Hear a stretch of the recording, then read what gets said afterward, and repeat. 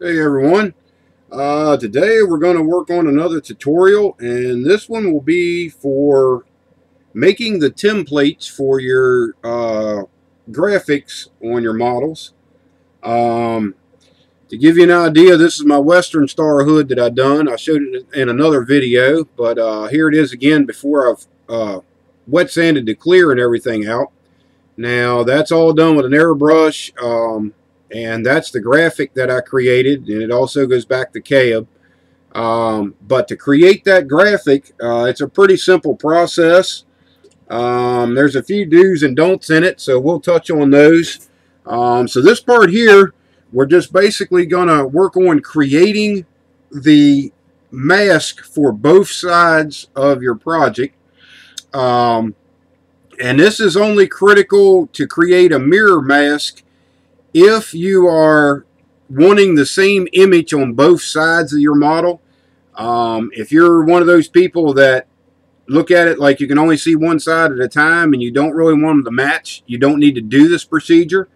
Um, so what we're going to start with is I have a piece of mirror glass here on my workbench and I use that for a nice flat hard surface so I don't cut into my bench or anything. And I've got a piece of, uh, I think it's 80 thousandths or 100 thousandths plastic here. Um, and this is what we're going to be cutting on. Uh, you could also cut on this if you want to. I, I personally don't like cutting on glass um, to do this procedure. Uh, it doesn't allow the end of my knife blade to uh, kind of go where I want it to go. But, I mean, like I say, you can try it and see if it works for you. Uh, for me, this works better, so I'm going to show this procedure. Um, of course, we're going to use the 18 millimeter wide masking tape, and I'm going to make a graphic that is very similar to the one that I put on my Western Star, uh, just to keep this simple. Uh, so what you want to do is you want to tear off a piece of your masking tape, and the length of this will dictate um, like if you're doing if you need a graphic that's six inches long then you want to make your your masking tape uh, you know seven to eight inches long roughly in that neighborhood. Um, so I just pretty much put my masking tape down on my piece of plastic like that. Now the next thing that I'm going to do is I want a start point for my graphic which uh, when I did my Western Star hood, it's actually where the grill sets into place. That is my start point for the graphic. Well, since I want those equal on both sides and, uh, you know, as far as height-wise, I want them the same, take your pen and just draw a line toward the end of your, your piece of tape here. And that's going to be a reference mark. Now, I'll show you what we're going to do with that a little bit later. Um, so all I did to, to create that graphic on the Western Star is I basically went in by hand and I'm not going to do as many as I did on that, but I just kind of drew my curves in and drew in my little drop parts. And like I say, it was all all free-handed on that. Um, so we're just going to do a something simple here. Got that drawn on there. Uh, let me hold it up here at the camera. Can get a little bit better view of it. That's what I've drawn on there. Okay. Now, on this graphic, what is above, I'll hold it up here where you can see what I'm talking about. What is above, let me get the right vision here. This part of the graphic will be what the actual second color of your paint's going to be. This upper part of the graphic is your mask. That's the one that you're worried about the most. But if you're going to do this where you want an even graphic on each side, you need to pay particular attention and be careful with this bottom piece because we're going to need that here later on in the video. Um, so I've got a brand new number 11 in my hobby knife. Um, so you're just going to come in with that and on your pencil line you had, you just want to follow that and cut it with your knife. And you want to make sure that this is clean and as straight. You don't want to wave your knife around. Just follow your line nice and clean. And don't make too many overcuts. like as I go down and I get to the end of my pencil line there, I want to stop at that point and then I want to start at the end of this other pencil line and basically connect those two. Once they connect, don't cut any further. Um, what that'll do is give you a cut in your tape and it actually will allow the paint to bleed under and can cause you problems later on so you don't want to do that. Um, so just take your time and cut this out very, you know, very accurate. And we got one more line here to cut. And there we go. We had that cut out. Now, the next thing that I do, the uh, part that's on the bottom side here, don't touch that yet. You want to lift up your actual mask that you're going to be using on your part. And you want to pull this back slowly. And with these zigzags and these little sharp edges, you got to make sure that you pull back slowly. That way, if you need to cut a little bit more with your knife, if you didn't actually connect your points together, um, you're able to go and do that. Like actually I have one right here. So I can go back in and just take that little, just take a little bit more off of it there. And this is something that'll take a little bit of practice to get right. Um, you may mess up a couple of them, you know, trying to learn how to do this. Uh, it's just a matter of learning how to work with your particular masking tape. Like I say, I use Tamiya and I highly recommend it. So what we have now is this part that I just cut out. I'm gonna I'm gonna lightly stick this back to the uh, plastic here so you can see what I'm doing. But this part that we just cut out and pulled up, this part here will be our mask. Um, where you see the white here, that's actually going to be what color you're going to spray on. Um, so this is actually going to be our mask. So that that part of the mask is a done deal. Um, now, if you want to have that same exact design on the other side of your model, basically all you're going to do is take a piece of uh, copy paper. You can actually use trace paper or anything like that and a pencil. And you want to lay that over top of this piece of masking tape that's left down here. And everybody knows how to do this. When you, you know, you rub your pencil back and forth over top of the edges of that masking tape, it's going to show a raised line, or actually a darker line. So you just want to, and you don't want to move your paper once you have it down here. Make sure you hold it in the same position um, until you're done with, with uh, getting this line to transfer to your paper. Now there's other ways to do this. Uh, some of the one-to-one -one pro painter guys could probably do this another way. Um, this is what I use at, at my hobby bench. This is how I do my custom paint jobs. So that's the way I'm going to show you. Um, so what we have now is there's our graphic transfer onto that piece of copy paper. So we're going to set the plastic out of the way. And then uh, Actually, I'm going to flip the plastic over here and use this for a cutting edge. Now, what we're going to do now is the same procedure that we done on the um, masking tape. We're going to come back in and cut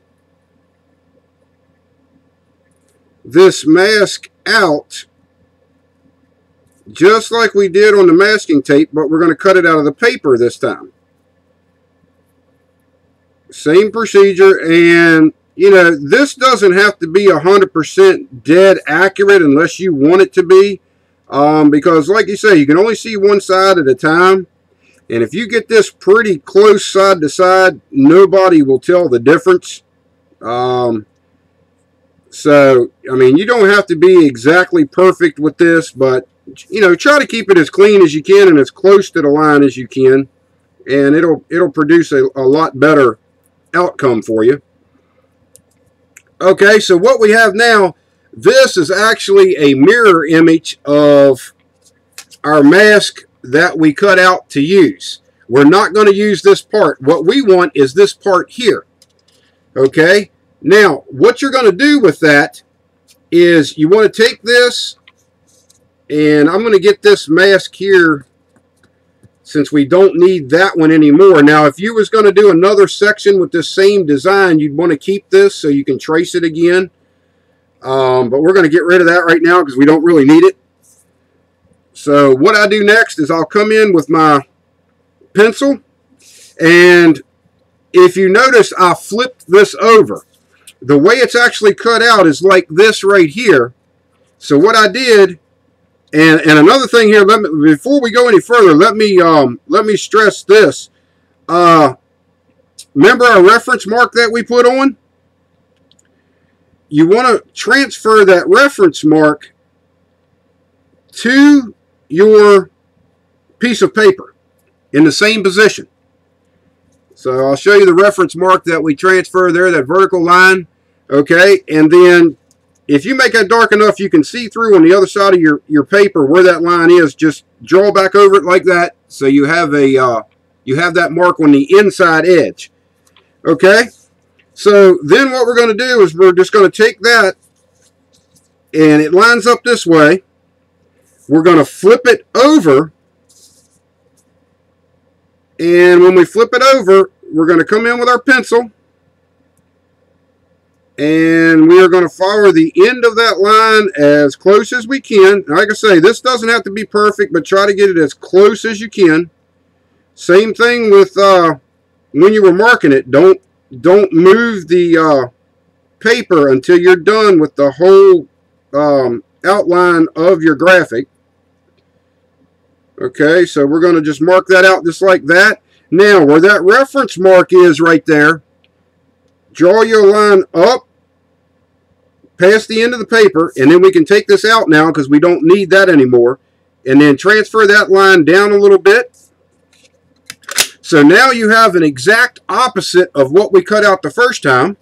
So we're going to take another piece of masking tape, and that reference mark that we have right here, make sure your tape goes over the end of that. And you want to take your tape and cover up your graphic marks that you have down. And I'll hold it up here and show you what we're doing. This is what it looks like when that line transfers through your Tamiya masking tape. So now we're going to repeat that same procedure that we did at first. We're just going to come in with our hobby knife and we're going to trace along that line. Just like we did the first time. Same thing.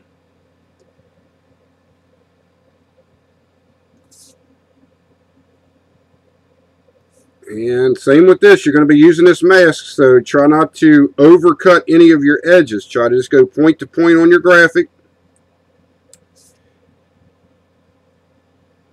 And I think we got all that.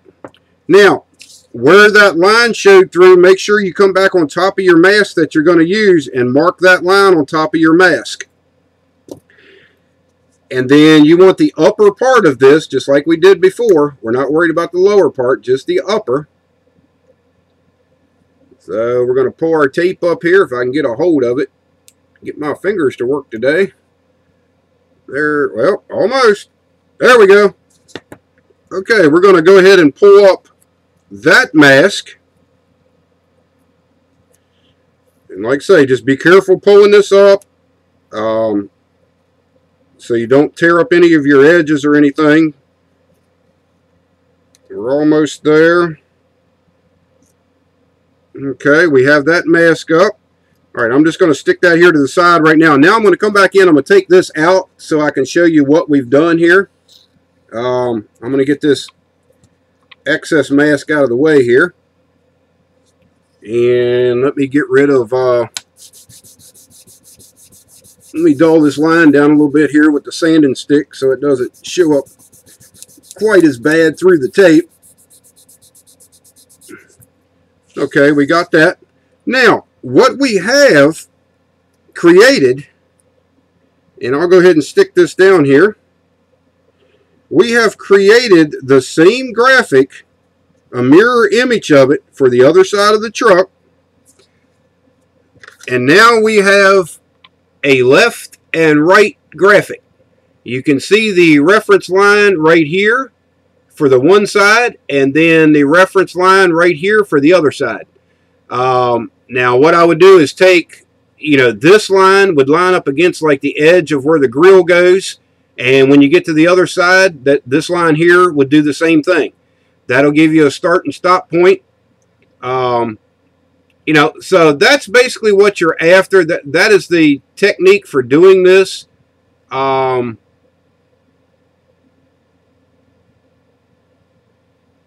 you know, it, it's it's not a hard procedure, but it's one that's going to take you a little bit of practice. So, but that's you know that's pretty much all there is to it. Now we're going to stop the tutorial on that part, and then what we'll do in the next one is I'm going to take these graphics and we'll stick them on the side of uh, our scrap body uh, that we're using, that Porsche body, and we'll go ahead and show you how to put those on there and mask off and shoot this uh, this graphic on the side of the car.